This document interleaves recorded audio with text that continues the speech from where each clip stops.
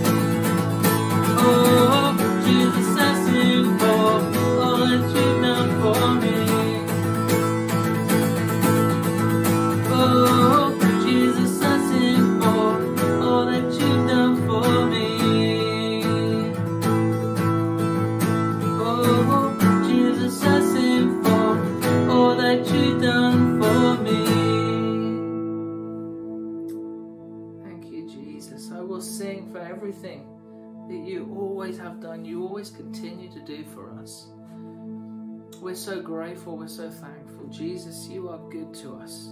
So, so good.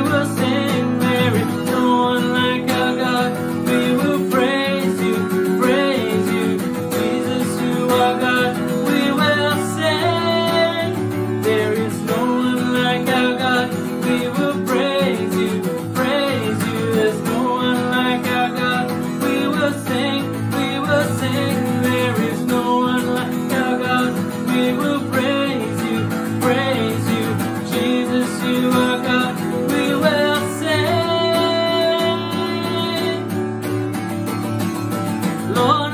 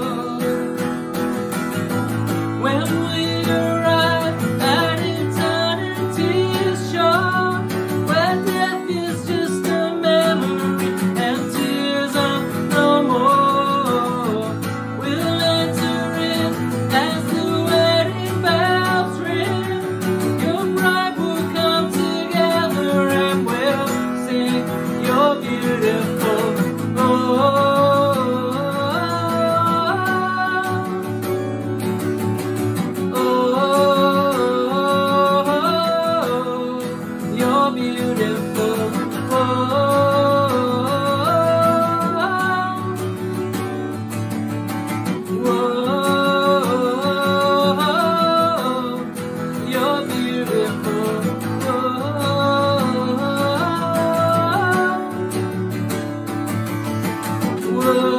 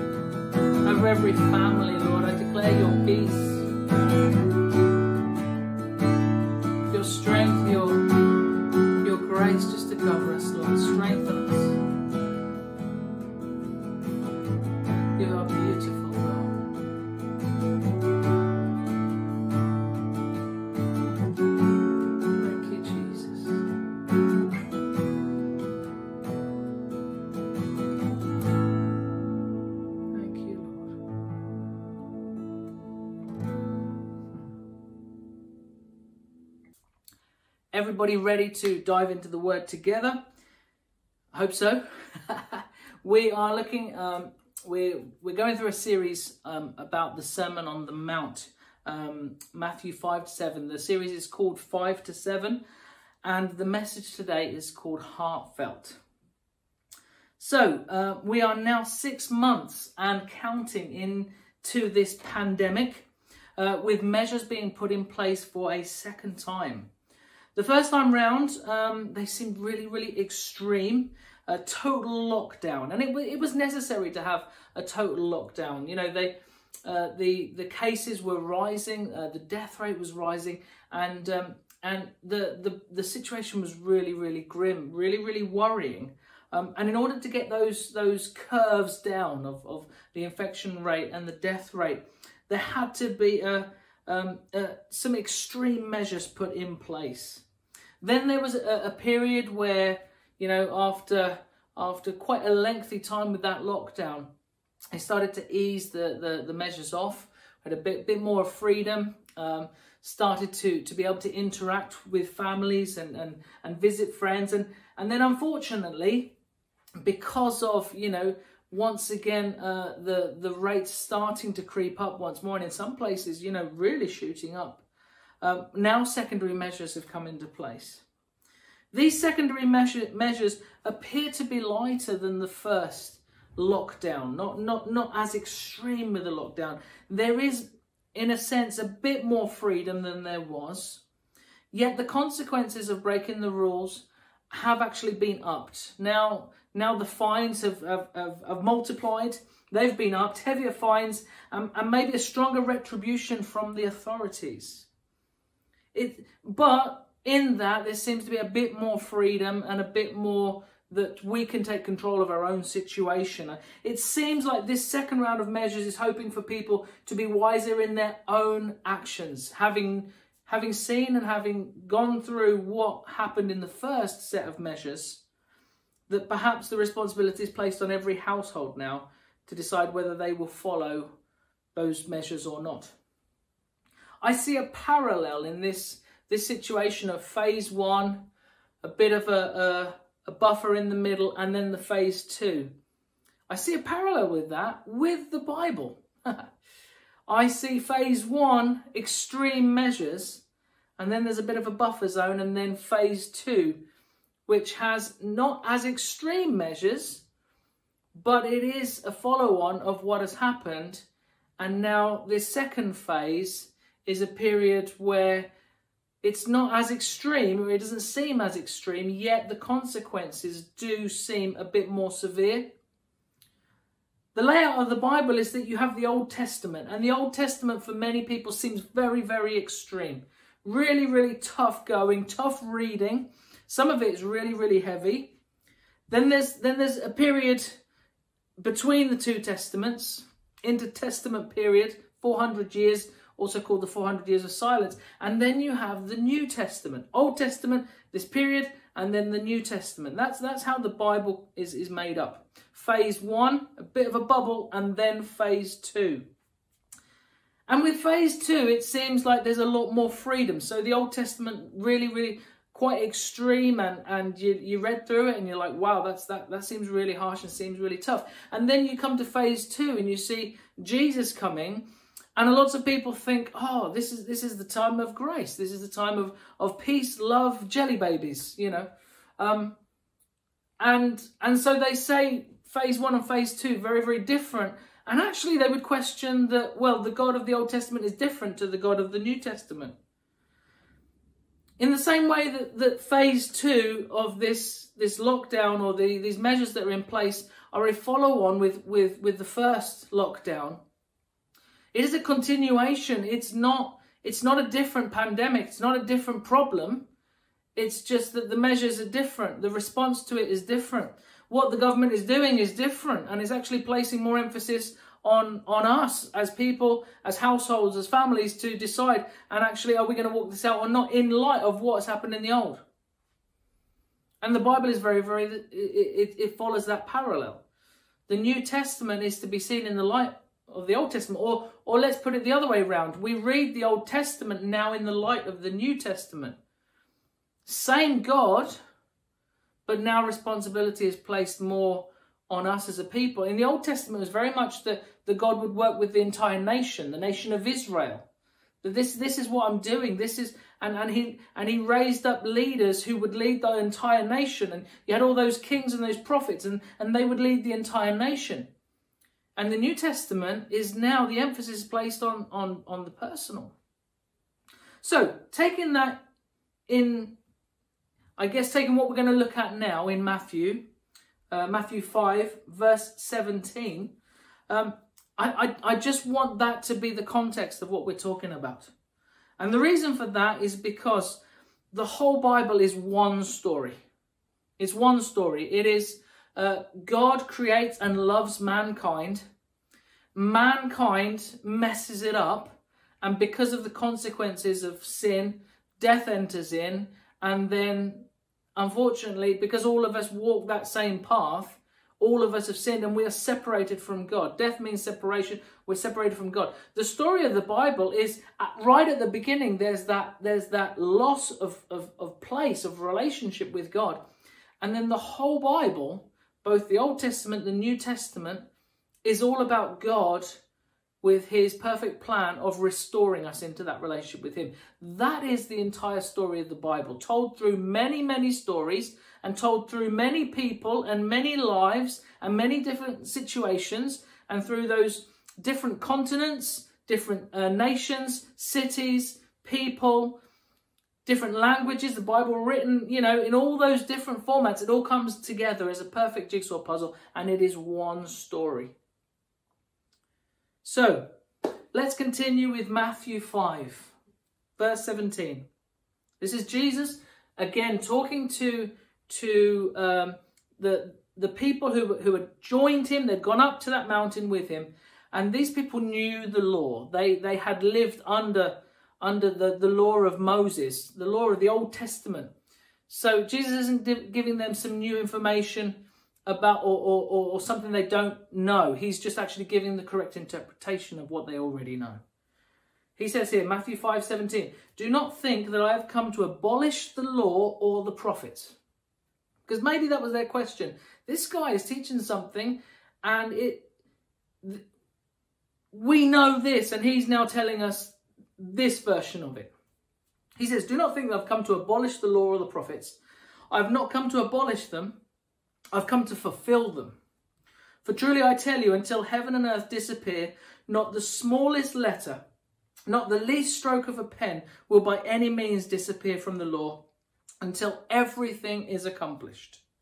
So nothing will be removed from the law until it is accomplished, until it is fulfilled. I haven't come to abolish it, I've come to fulfill it. Uh, we we jump to verse 21 and and and now i'm just going to get real with you. We, we're going to talk about two topics which are are very very tough topics.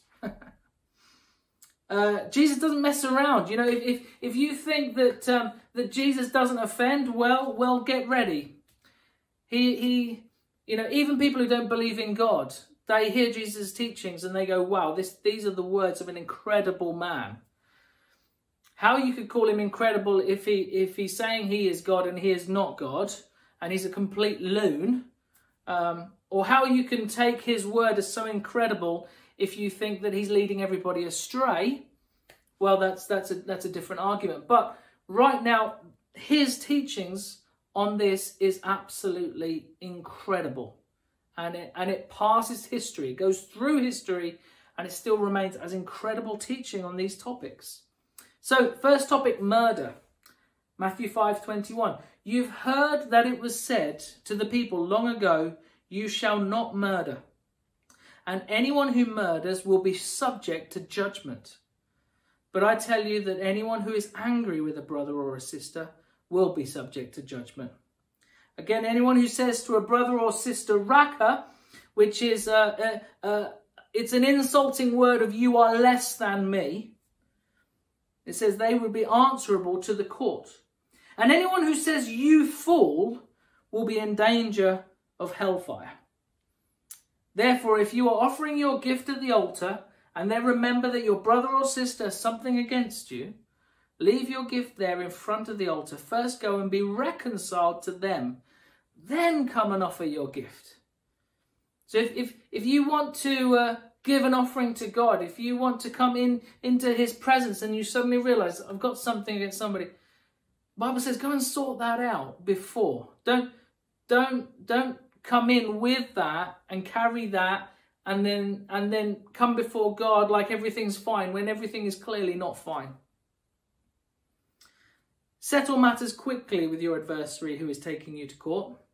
Do it while you are still together on the way, or your adversary may hand you over to the judge, and the judge may hand you over to the officer and you may be thrown into prison. Truly, I tell you, you will not get out until you've paid the last penny. So that's what Jesus says about murder. now he goes on. It, it, it, it gets even better. Adultery. You have heard that it was said, You shall not commit adultery. But I tell you that anyone who looks at a woman lustfully has already committed adultery with her in his heart. If your right eye causes you to stumble, gouge it out and throw it away. It is better for you to lose one part of your body than for your whole body to be thrown into hell. And if your right hand causes you to stumble, cut it off and throw it away. It is better for you to lose one part of your body than for your whole body to go into hell. Jesus speaks a lot about hell. He that's he, he does. He, he that that word he he is the, the the hellfire preacher. He really goes into talking about hell more than anybody else. But he also talks about the way out. He also talks about how he is the way, the truth, and the life, and he's come so that we, we wouldn't go to hell. I just want to make that quite clear. Right, is everybody ready? Everybody comfortable? Because I'm going to give three truths to what Jesus is saying. Um, and um, and I'm going to kind of dismiss this myth. That's my goal today, is dismiss this myth that um, everything with Jesus is all about peace, love and jelly babies. Because he is the same God of the Old Testament.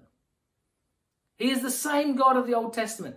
But there is a reason why the extreme measures of the first phase would lead to the second phase when God comes down in the form of a man and he is 100% God, but he is 100% man to restore that relationship between man and God. That is why he is the only mediator. He's the only one who is 100% God, 100% man. He represents God before mankind and he represents mankind before God. That's his that's one of his roles. So, the Bible is divided into two parts. Old Testament, New Testament with a bit of a buffer in the middle. Many people think the Old Testament is pain and judgment, war and destruction, and that the New Testament is wonderful love and, and it's just beauty. And so they, they, they, they struggle to put those two together. What I'm saying is that the, the old sets up the new. The old has to come first in order for the new to come. You don't get the new unless you pass through the old. It's, it's like we don't get to be who we want to be in God without passing through the difficult times. We don't go up into the val- into the mountainside until we've been down in the valley. And guess what? Life is down the valley, not on the mountainside. You have to pass through in order to get to the other side. So, phase 1 is necessary in order to bring us to phase 2. I agree with everybody. I agree with the, the, the, the argument there that the Old Testament seems like extreme measures. The law that God gives, really extreme. Don't do this, don't do that. Um, you know, just, just looking at the Ten Commandments. Don't do this, don't do that. Thou shalt not, thou shalt not, thou shalt not. You go, crikey. A lot of thou shalts, nots. I, I agree, extreme measures. But guess what? The New Testament does not cancel out the Old Testament. What the New Testament does is it, it fulfills the Old Testament.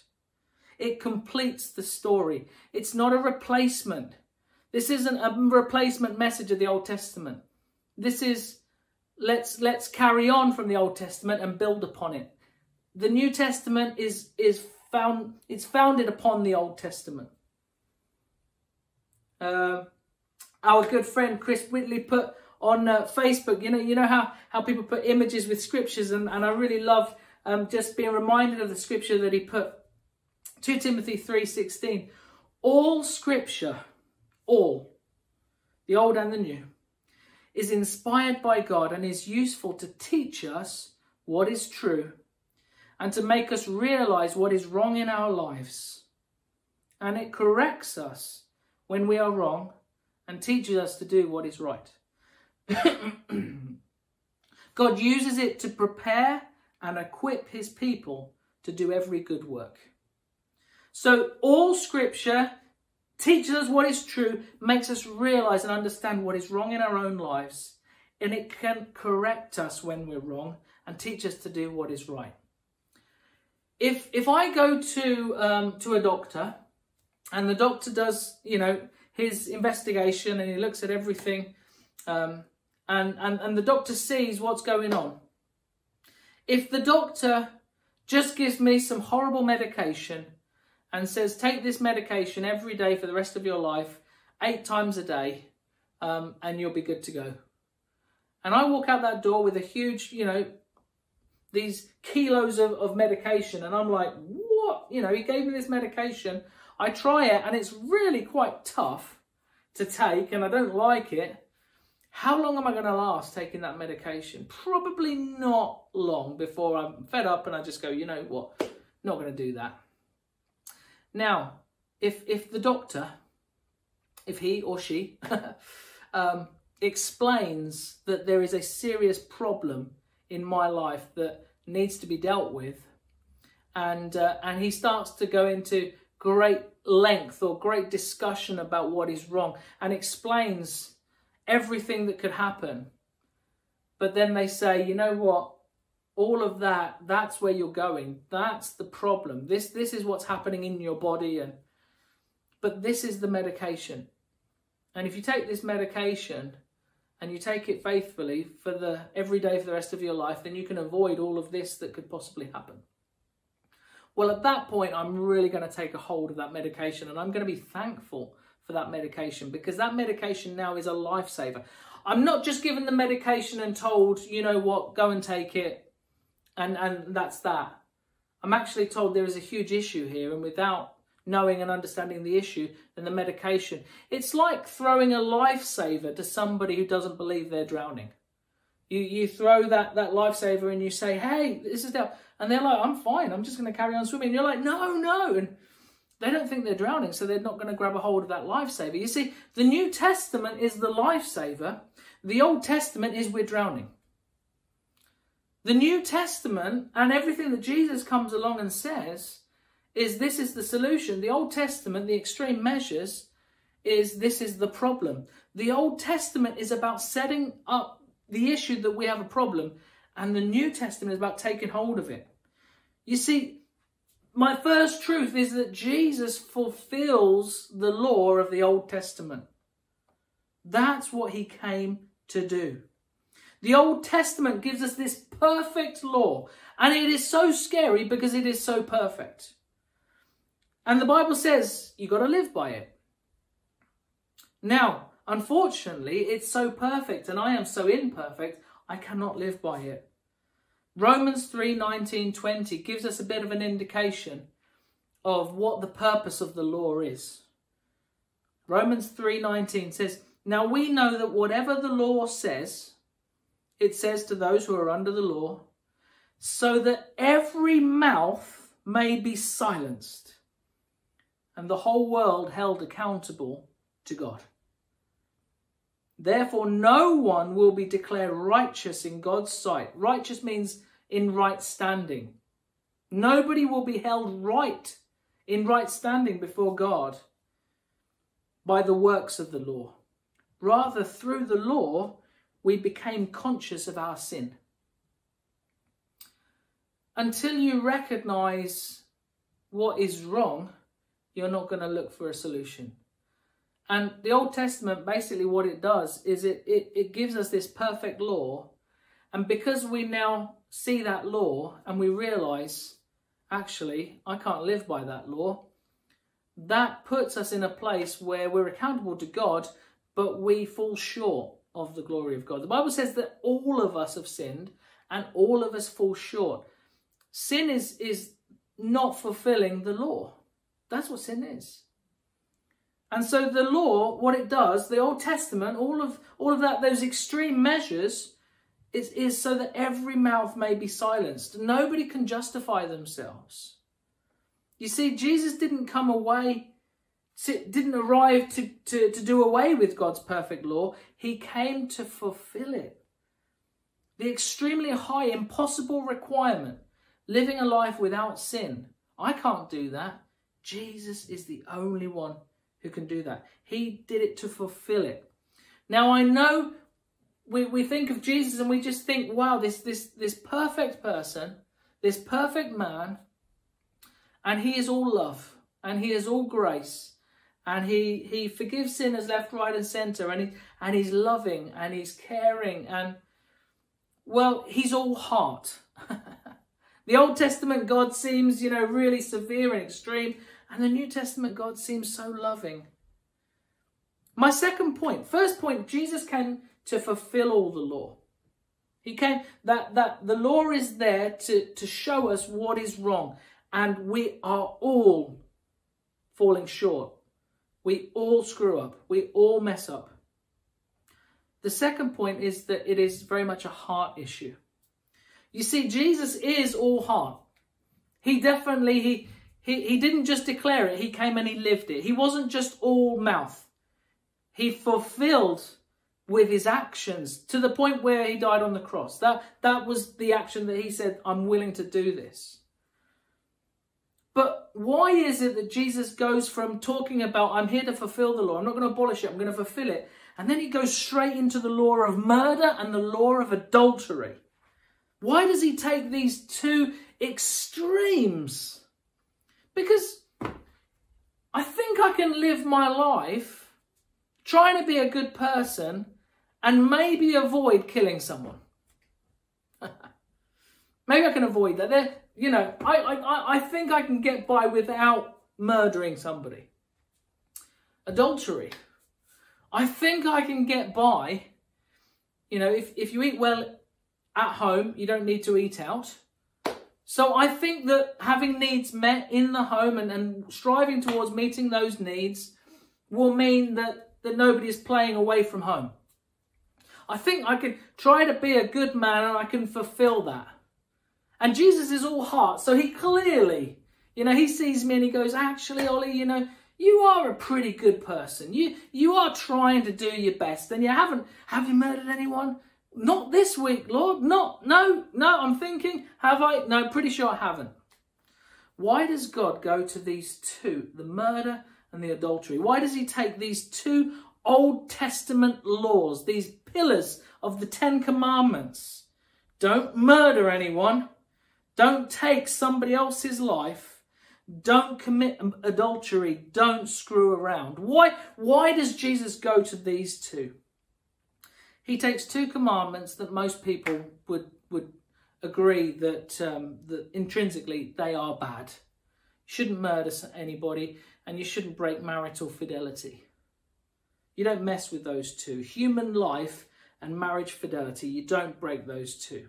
Life, life would, would say don't mess around with those whether you're in the church or out of the church, we generally believe, we generally agree morality is you don't mess with those two. So if Jesus is all heart, why would he use these two? Well, this is Jesus throwing in a curveball.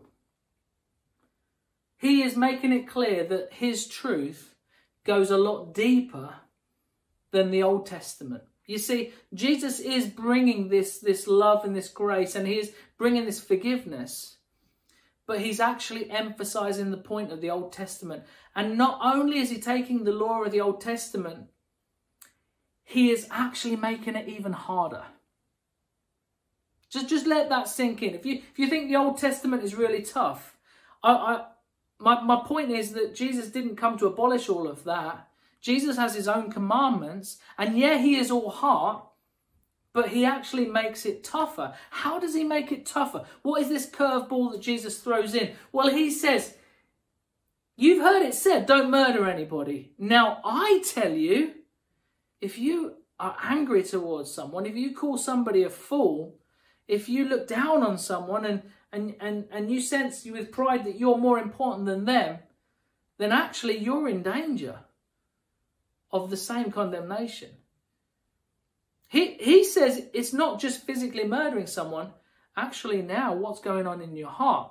He talks about adultery and he says, You've heard it said, don't don't commit adultery. Don't don't take somebody who, who, who you're not in that that that um that covenant of relationship with that you've decided and witnessed before people, before God, that you're together for life.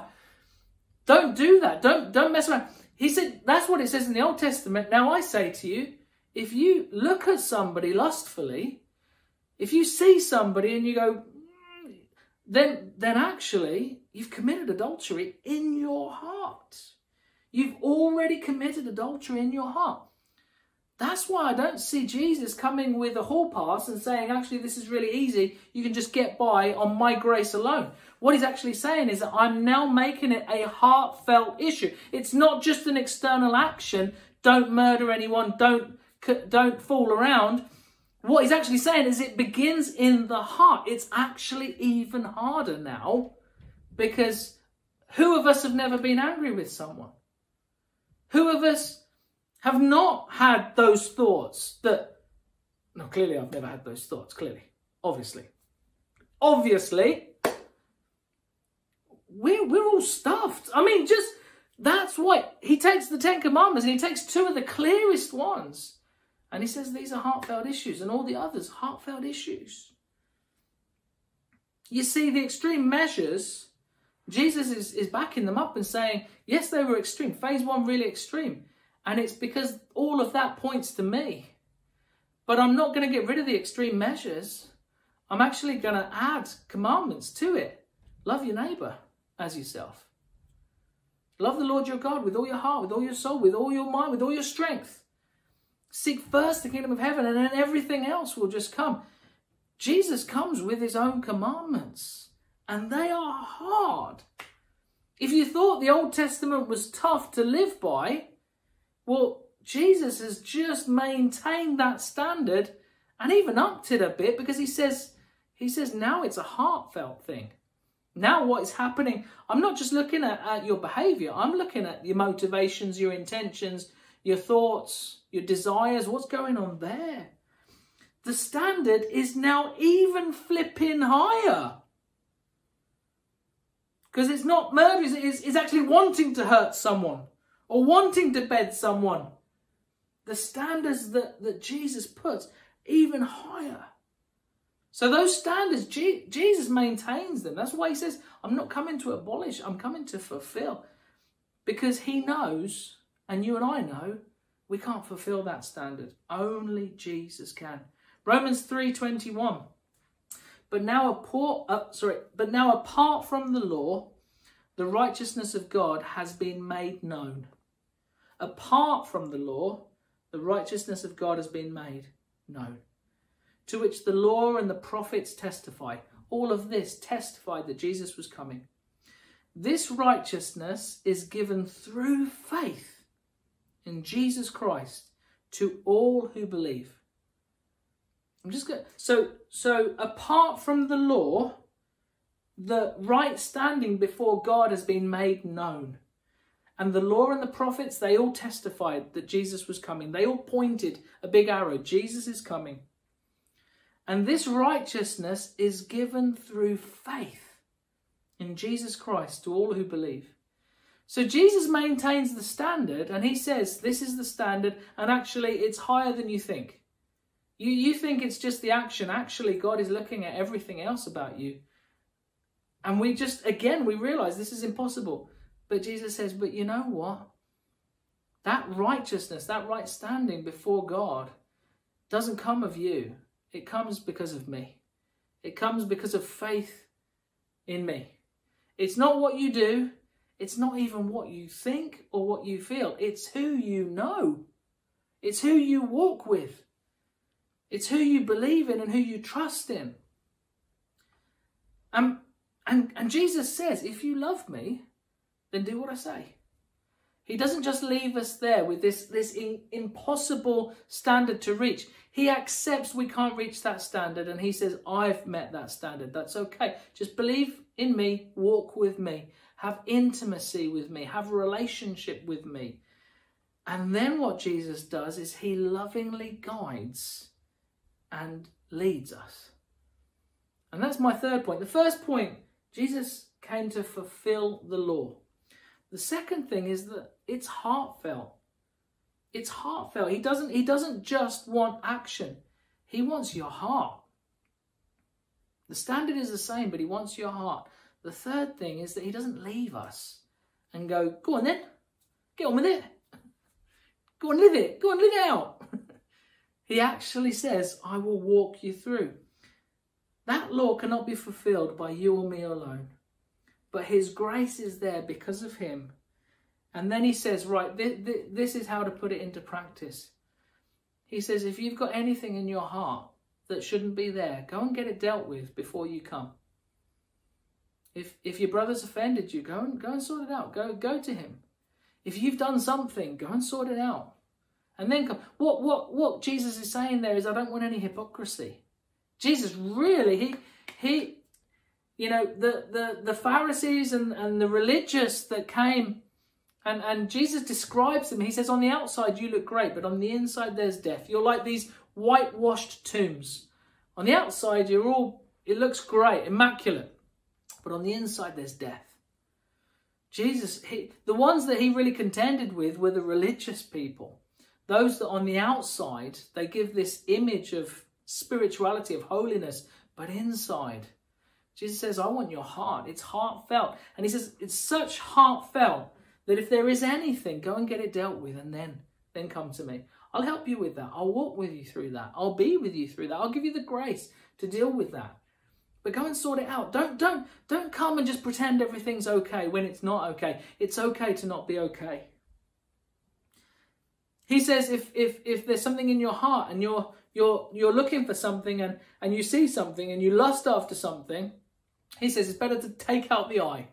Take it, gouge out your eye. Now, God does not want us to walk around either blind or, or you know, chop off your hand. If your hand causes you to sin, chop off your hand. If your leg causes, chop off your, you know, who of us would remain not being completely and utterly mutilated? Not me. that caused me to sin. Boom, bye. That caused, you know, I. How often do we sin? You know, how often do we do we mess up? God is not saying I, I, I want a mutilated people. What He's saying is go to the root and cut it out. You know, in, in other words, if, if, if you're battling with alcohol, don't go looking for peanuts in the off license. If, if, if this area is causing you to sin, if, if the internet at night, pornography is causing you to sin, well then switch off the internet before you go to bed. Or, or don't put a computer anywhere where, where it's just on your own. Go to the if if there's an issue in this area in that area go to the root and get it sorted out. He's saying i will walk with you through that. I will help you through that. I will be with you to take away those things. And the more that you know the word of god the, no, the more that you know the law of god you you understand more his heart about it and his grace abounds where we have more issues his grace abounds the bible says where sin abounds grace abounded more you see, he doesn't just leave us. Yes, he fulfills the law. Yes, it is impossible for us. Yes, he wants our heart more than anything else, but he loves us so much, he's going to walk us through all of that. So, to conclude this segment of the Sermon on the Mount, this, is, this isn't Jesus being lightweight. This is Jesus being actually quite heavy but with that heaviness, he's giving the respite. He says, Yeah, the burden is heavy, but not with me. The burden of the law is heavy, and people try to live it out and they can't. That's religiosity, trying to live it out in your own strength. And he says, Actually, my burden is light. I've, I've done all of that, I've fulfilled all of that. Now walk with me. We would often say to our, our youth group for years and years, and I, and I still I still stick to it Love Jesus with everything and then live however you want. Love Jesus with everything. You know, get to know the word of God and and and and and, and yeah, get to know it because that's getting to know Jesus. But just fall in love with Jesus. And then everything else will just come. Because if you love Jesus, you will do what he wants and and you will, you know, the Holy Spirit will tell you that's why it, it, it becomes such a life lesson. And Jesus says again and again and again that yes, sin abounds, but his grace is so much more. His standards never change. They've always remained the same, both the Old Testament and the New Testament. But his love remains the same. And the story in that he wants to restore us to him. Let us pray. Jesus, we we thank you for your word. We thank you for, for the very fact that you are perfect. We thank you for, for your law, which is perfect and it is life changing. But Lord, we recognize that we can't do it in our own strength. That only comes through knowing you. We thank you that that righteousness, that right standing before you, only comes through you. And it comes through faith in Jesus. Lord, I am not perfect. I am a saint who often sins. I am no longer a sinner. And that's because of who you are, Jesus, and what you've done. I want to walk with you and I want to be more like you, but Lord, help me, guide me. Holy Spirit, guide us all. Now, you, may be there and you think it is impossible to, to walk this walk. With God, nothing is impossible. I just declare and I pray for, for strength and I pray for love and I pray for grace. Lord, I thank you that, that your word does show us what is wrong, but it also shows us what is right. And Lord, that's what we want to walk out. Help us, each one of us, wherever we are, whatever, whatever situation we're in. Lord, help us. Thank you for that. Thank you for your grace. We bless you, we praise you. May the Lord May the Lord shine upon you. May the Lord give you his peace. He smile upon you. And may you have a really, really great week. Take care and uh, um, I'll see you next week. Hello everybody, thank you for joining us today and before you go just a couple of reminders about what's going on this week on Bright Hope at Bright Hope. Uh, so on Tuesday night we're having our Bible study, we're having a lot of fun going through those letters that Paul wrote to Timothy and Titus. So join us at 8pm on Tuesday nights, uh, Tuesday night on Zoom. And uh, Wednesday we have our weekly check-in just for a chat and a catch-up and this Thursday we have our monthly prayer meeting. It's the last Thursday of the month so we'll be praying and uh, if you can join us, we'll be praying at 8 p.m. And if you can't join us, then um, do get in touch, send us out your prayer requests and we'll be sure to be all praying for you. So it's a, it's a great opportunity to get together as a church and, and join in prayer. Um, and that's it for this week. And we hope to see you next week. And, and uh, check the details for the after church coffee. It'd be lovely to see you today and, and, and have a chat and a catch up. Have a lovely week. God bless you.